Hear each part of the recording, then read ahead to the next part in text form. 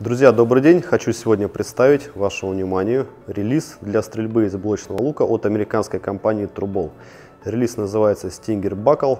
Buckle означает, что релиз на кожаном ремешке, который застегивается на руку. Черный.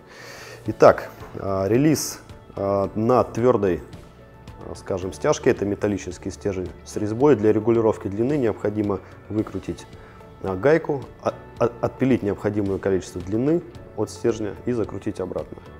Релиз всегда находится в закрытом положении, вы нажимаете, он сам возвращается обратно. Тестируется релиз на усилии 100 фунтов, поэтому не переживайте, все мощные луки он спокойно выдержит. Регулировки на релизе помимо длины, вот еще есть один винтик дополнительный, вот здесь, он регулирует усилие нажатия.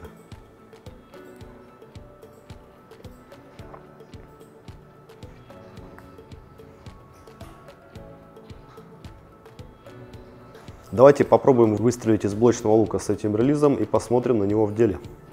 Лук от американской компании Bear, модель называется Species, усилие лука 60 фунтов.